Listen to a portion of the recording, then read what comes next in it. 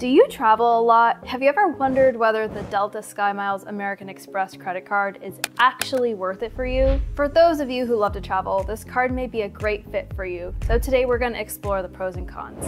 Hi everyone, I'm Jenna and welcome back to RoundUpSave where our goal is to demystify money to help you feel more in control of your money, whether that be through savings, earning, investing, or even achieving financial independence. For those of you who love to travel, the Delta SkyMiles American Express card may be a great fit for you. So let's dive in and explore the pros and cons. First off, there are three different versions of the credit card that you can get. What are the different types of Delta SkyMiles credit cards that you can get? Well, there are three tiers, gold, platinum, and reserve.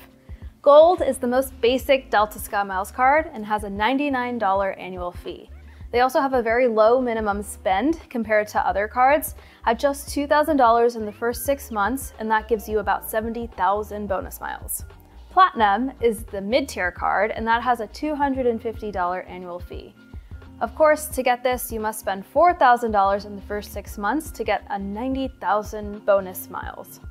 And finally, the reserve is the highest tier with the highest annual fee of $550. For this card, you have to spend $6,000 in the first six months to also get bonus miles of 90,000. So as you can see, sometimes Delta will have limited time offers to give you more bonus miles than what they normally do. So you may be wondering what are the benefits? The Delta SkyMiles credit card is a great way to earn rewards and save money on flights. With every purchase you make, you'll earn miles that can be redeemed for flights, hotel stays, car rentals, and so much more.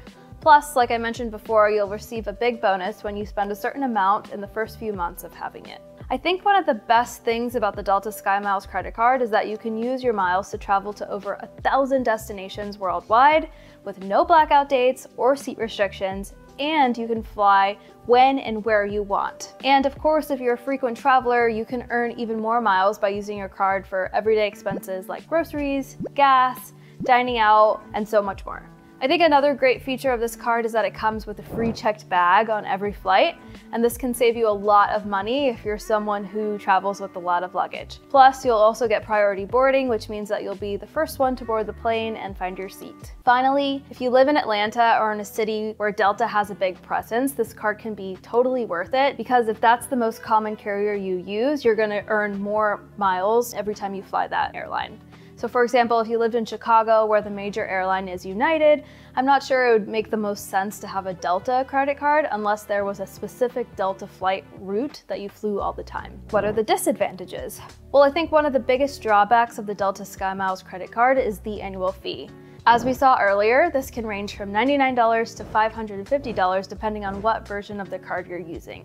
However, if you're a frequent traveler and you use the card often, the rewards you own may outweigh the annual fee based on the different benefits at each tier. I think another potential downside is that redeeming your miles may be more difficult than you expect. While there are no blackout dates or seat restrictions, sometimes availability can be limited, especially during those peak travel times like around the holidays. Additionally, the number of miles for every flight can really vary depending on the destination, the time of year, and some of the other factors.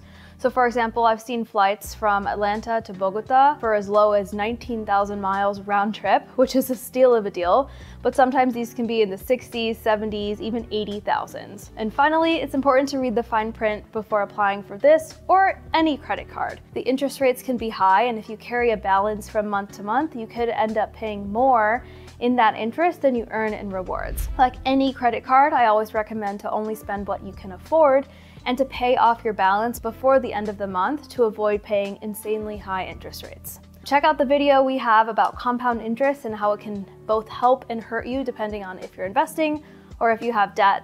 I'll link that in the show notes below. There you have it. Those are the pros and cons of the Delta SkyMiles credit card. While there are some potential drawbacks, this card can be a great way to earn rewards and save money on travel. If you like content like this, make sure to smash that subscribe button and like the video. Drop a comment down below and let us know what you think. Thanks for watching and see you next time on RoundUpSave.